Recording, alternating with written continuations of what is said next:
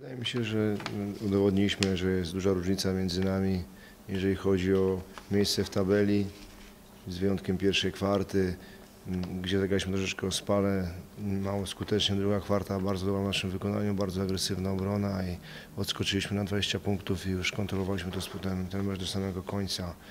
Także cieszę się z tego, że wygraliśmy to spotkanie. Przyjechaliśmy tu tylko z jednym y, założeniem, żeby wygrać. Dla nas to bardzo ważne, cenne zwycięstwo w układzie tabeli.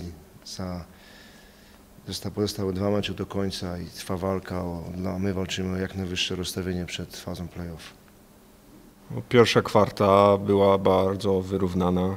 Y, Lublin mocno zaatakował na desce, dużo zbiórek w ataku w tej pierwszej kwarcie mieli, ale odskoczyliśmy w drugiej, pokazaliśmy, że nasze, nasz atak jest trochę lepszy od ich obrony i właśnie przez tą drugą kwartę nie, nie puściliśmy naszej agresywnej obrony na całym. Y, No i w trzeciej i czwartej podtrzymaliśmy to y, i dlatego wygraliśmy. No pokaz, pokazujemy, że potrafimy grać y, z każdym i będziemy po prostu grali tak dalej. No, gratuluję drużynie z Torunia em, okazałego zwycięstwa. I tak sobie troszeczkę wyobrażałem ten mecz przed tym meczem, natomiast Toruń pokazał swoją siłę ofensywną. e, Natomiast my, żeby być z takim przeciwnikiem w grze, musimy wy, wykorzystywać otwarte pozycje. Niestety dzisiaj mieliśmy fatalny procent w rzutach za 3 punkty, bo 20 24 rzuty oddaliśmy, 3 trafiliśmy, 12,5%.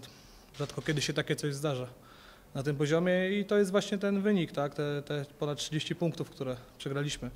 Myślę, że jakbyśmy trafili 5-6 rzutów więcej w decydującej kwarcie drugiej, bo wiadomo, druga kwarta była decydująca, mogliśmy, mogliśmy być w grze, natomiast potem gdzieś psychika troszeczkę siadła chłopakom i przegrywamy mecz 30 punktów. E, Jedynie co mogę zrobić, to podziękować kibicom za cały sezon, jeśli chodzi o, o kibicowanie i bycie z drużyną, bo mimo w tych trudnych momentach przez cały sezon nas wspierali i za to się na pewno im należą brawa.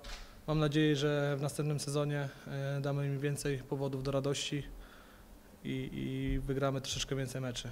No na pewno nie tak sobie wyobrażaliśmy ten sezon, e, podsumowując cały sezon, chociaż jeszcze, jeszcze nie skończył, wiadomo, czekają nas dwa ciężkie wyjazdy. e, Natomiast no, było dużo perturbacji, e, wiadomo, były wymiany zawodników, bo, bo gdzieś tam były transfery nie do końca trafione.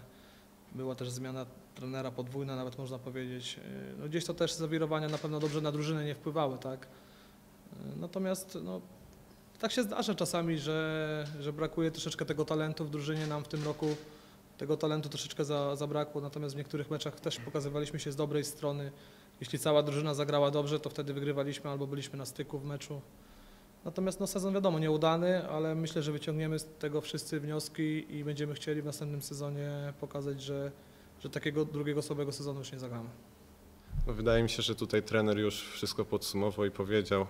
Zadecydowała druga kwarta, którą przegraliśmy aż 11 do 34. Przeciwnicy troszkę mocniej wtedy zaczęli bronić. Mieliśmy problem z przeprowadzeniem akcji. Y, Oddawaliśmy za dużo szybkich rzutów.